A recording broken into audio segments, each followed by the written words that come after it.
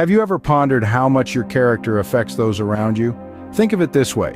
Character is akin to a disease. A disease doesn't only impact the individual, but also those in their vicinity.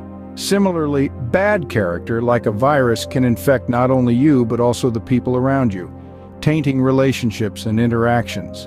It's an invisible force with visible effects. Just like a disease, bad character, even when hidden, will eventually surface and impact those around you. Like a contagious disease, a bad character can spread and infect those around you. Just as an illness can be passed from one person to another, so too can negative traits, attitudes, and behaviors. They can subtly seep into the fabric of a group, family, or community, influencing others to adopt similar patterns. This is the insidious nature of the bad character disease.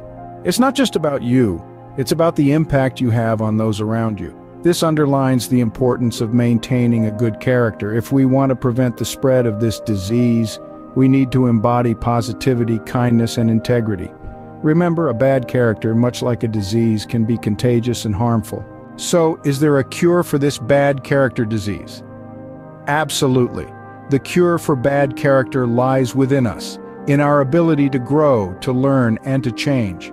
We must first recognize and acknowledge our flaws, for self-awareness is the first step towards transformation. Then, we must commit ourselves to personal growth. This can take on many forms, reading, meditating, seeking counsel from those we trust, and learning from our mistakes.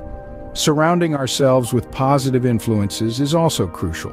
When we immerse ourselves in positivity, we counteract the spread of bad character, replacing it with kindness, respect, and understanding.